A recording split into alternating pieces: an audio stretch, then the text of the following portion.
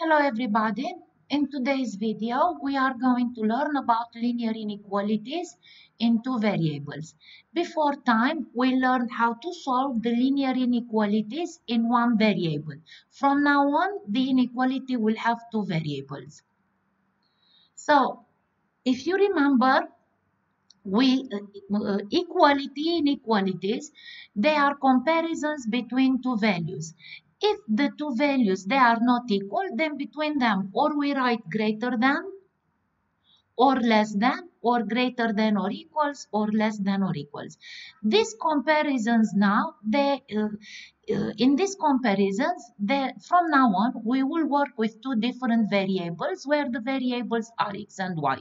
The relationship between x and y is that together they form a point and then we have, when we have the x with exponent 1, in fact, we have to work with the equation of the line.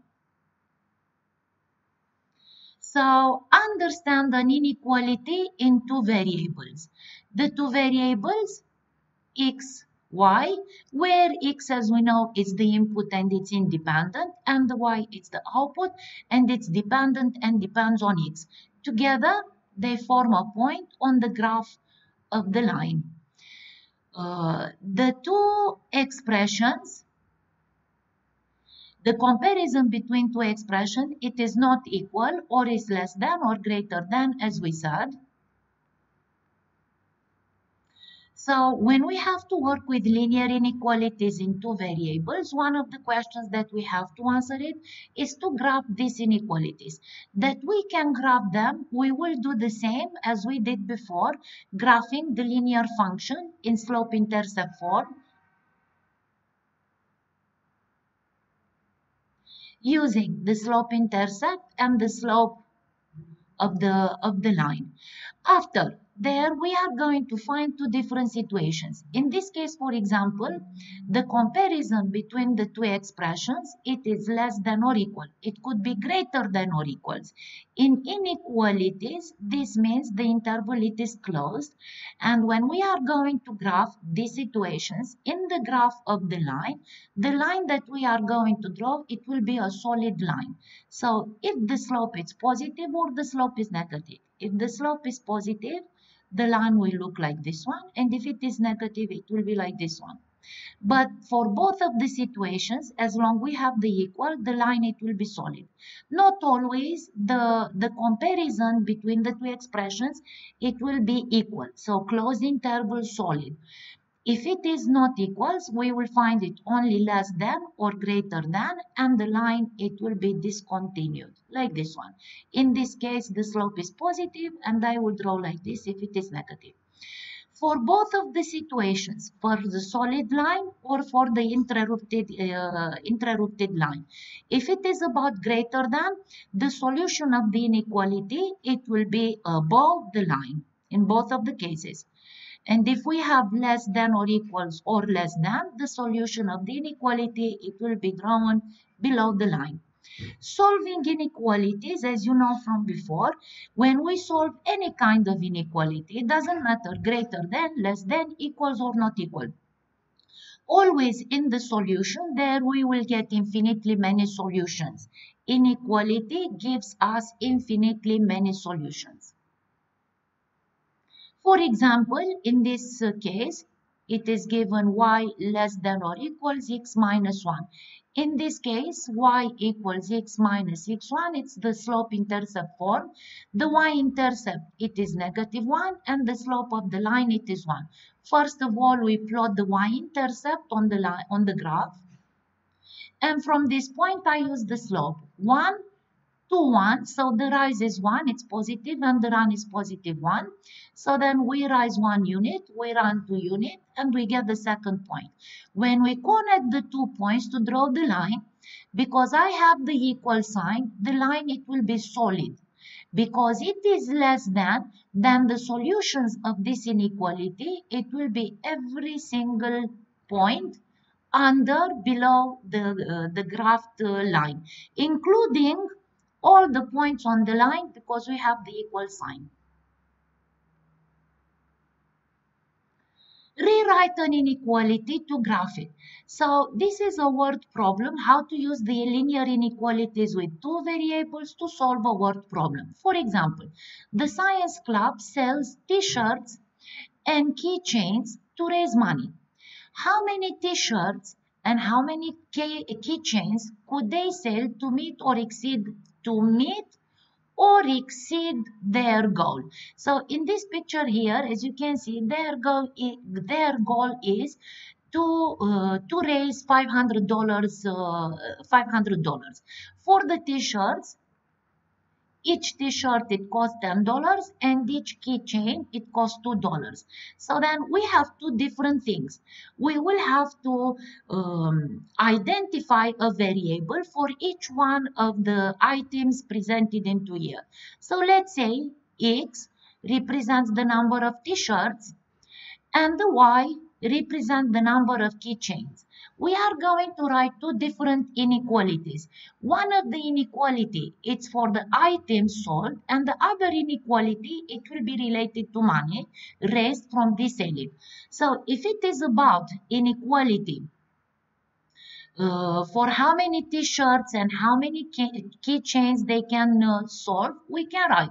So the t-shirt, it's the X and the keychain, it's the Y. I know that one t-shirt is $10, so I can write 10x and one keychain. It's the it's two dollars so it will be 2y and to raise at least because exceeding to meet it means equals.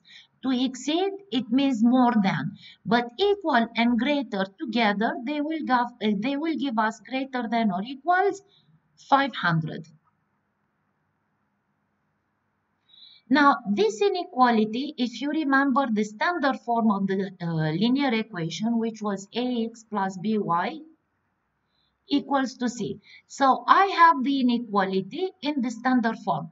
And now I have to graph it. To graph it, I can keep it in the form it is, but first of all, to make it easier for, for us, we can get it into simplest form. So we have here 10 coefficient, 2 and 500, where 500, it is divisible by both of them, 10 and 2. So before the graph, I will put the inequality into the simplest form. It will be much easier.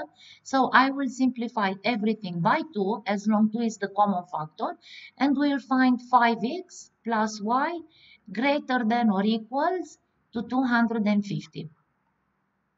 From the standard form, we know that we can find the x and y intercepts. So you can make it table and get the x-intercept and get the y-intercept of the function. x-intercept, it will be 5x equals to 250. Divide by x, it will be x equals to 50. So this is the x-intercept, 50 and the y-intercept it will be y equals to 150 so here I have 250 I connect the two points the line, when we will connect them, it will be a solid line as long we have the equal. Not only greater, it is equal command. So then when I will connect the two points, I will use the solid line. The solution for this inequality, as long I have the greater, it will be all the real numbers, all the pairs of numbers above the line including all the points that they are on this solid line. Keep it in your mind. In our question, this is word problem. So it is about t-shirts and it's about the keychains, keychains that they cannot be negative values. So then I'm not going to take this part of the graph, even this part of the graph. So the graph will start in here and ends in here as long the um, the things they cannot be negative. So then I graphed, I plotted the x-intercept, y-intercept on the coordinate plane. I connected them with a solid line and then I shaded above it. So any point above this line, any point represents solution for this situation. Now to graph this line, to graph this, we could, we could convert the standard form into slope intercept form, but we will get at the end the same thing exactly. According with the graph, I will use the x-intercept point and I will use the y-intercept point and I will try to give them an interpretation. So 50 it's the x, 0 it's the y. So let's say y where y represents the keychains. So with this money they can receive at least 50 50 uh, t-shirts or if there is no t-shirt they can uh, uh, at least receive 250 keychains Remember that when you have to solve inequalities uh, for one variable, if you have to multiply or divide inequality by a negative value, don't forget to change the sign of that inequality. Another type of question that you are going to have to practice with it is when inequality it is not given. So the inequality we have to find it but it, there it will be given the graph. And to answer this kind of questions we will do the same before we did before when we practice it with the equation of the line. We know that the equation of the line in standard form in slope intercept form is y equals mx plus b. So to find the y-intercept and to find the slope, we are going to use the given graph. From the graph, this point where the line intersects the y-axis represents the y-intercept and from here it's very easy to observe it that the y-intercept it is negative 3. To find the slope we need two points on this line. The easiest points that I can take. It doesn't matter which two points from the line. So then, I have already found the y-intercept. I will take one more point and the slope, it will be rise one unit and run into the right side one unit. So it will be positive 1 to positive 1, which means equals to 1. I will take the slope and y-intercept and substitute into the equation y equals 1 times x is x and plus negative 3 it will be negative 3 but this is equation of the line. And from the graph may I see that the graph it is shaded above the line which means this is not equality. This is going to be inequality. So instead of equal, I will put y again. As long it's shaded above the boundary line, this means that I have to deal with greater. And as long the line it is a solid line, I have equal. So the inequality it will be y greater than or equal x minus 3. This inequality represents the given graph inequalities in one variable in the coordinate plane. So we know there that when we work with the equation of this line, there we have two special situations. When the slope it is equals to zero or if the slope is undefined, which means does not exist. If the slope equals to 0, then the line is horizontal and the equation of this line, it will be y equals to constant. If the slope is undefined, then the line is vertical and the equation of any vertical line, it is x equals to constant.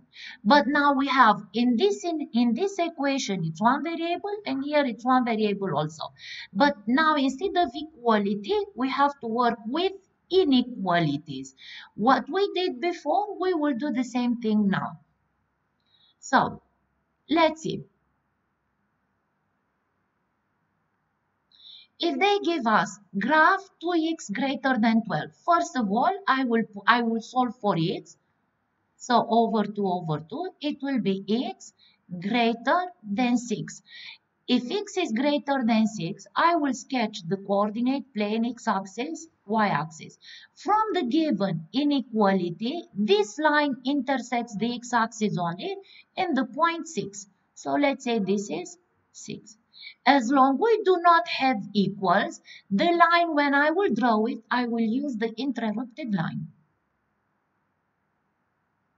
And because it is given greater than, then I will shade in the right side of this line. This means that x greater than 6, this inequality has infinitely many point solutions such that the points are in any point in the shaded interval. If we have negative 2y less than or equals to 6, simplify, solve for y, so divided negative 2 on both of the sides. Don't forget that if we multiply or divide by negative, don't forget to switch the given sign. So it is given less than, it will be greater than or equals negative 3. In this case, the line intersects only the y-axis in point negative 3 and when I will draw the line, as long it is given equals here, the line it will be solid. And the solution of the inequality, it will be any point located above this line as long here I have the greater. So any point and I have to shade this interval solution. The difference between these two situations, because here I don't have equals and here I have e equal interval. So this interval it is closed and this one it is open. If the interval it is opened, all of these infinitely many points on the line, they are not solution. If the interval it is closed, solution is not only the points above or below the line, they are also all the infinitely many points that they are on that line. Thank you and see you next time.